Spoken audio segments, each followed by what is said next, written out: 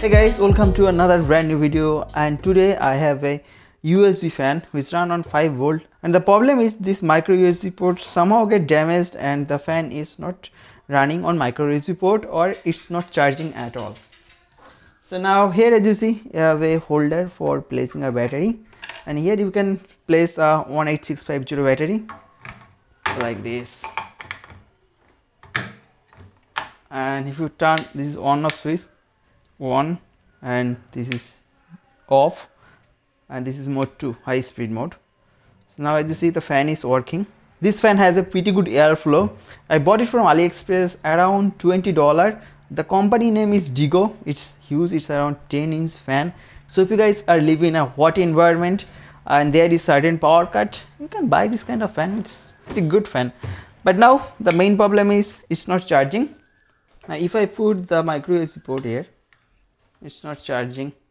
Here is the light indicator it's not turning on so it's not charging at all. So guys today in this video we're going to fix a micro usb port. So let's do it.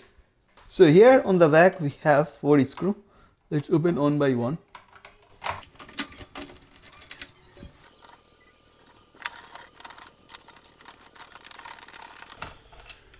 okay guys now back portion is open.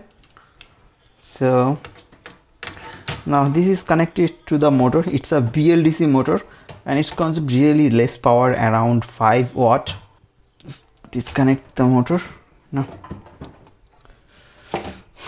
now this is the main charging unit and here is the micro USB port so open it.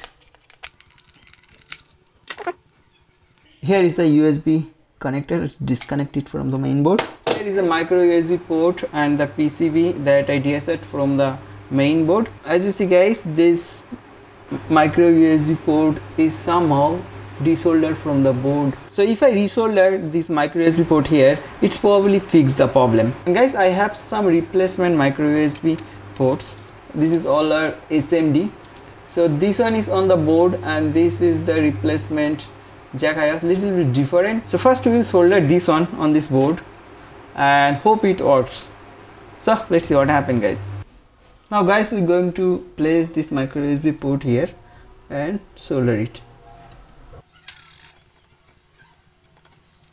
I put little bit soldering paste for better soldering First I soldered the original desoldered micro USB charging port but it didn't work so I replaced the charging port with new one and soldered it there.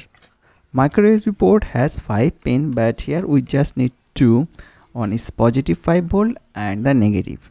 Another three is data plus data minus and for OTG so all of this pin is not required here. So we going to solder only the positive and negative pin so soldering is completed.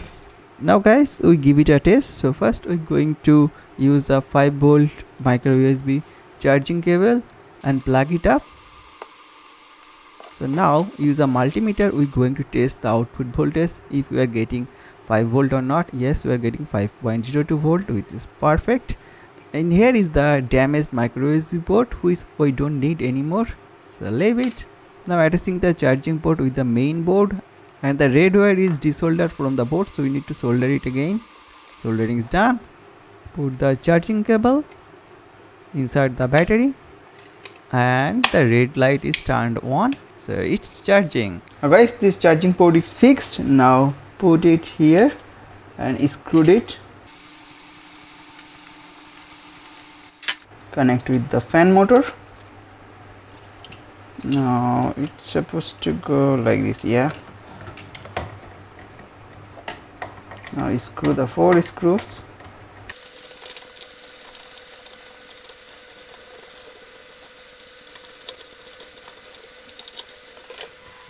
guys let's put this micro usb cable to the charging port and hope it works.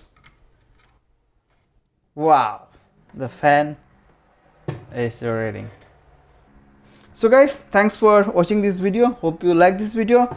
So if you like this video, make sure you smack a big thumbs up on this video. And if you guys have any question, any suggestion, let me know in the comment section below. That being said, my name is Vijay. I'm signing out and I will meet with you on my next video. Till then, bye-bye.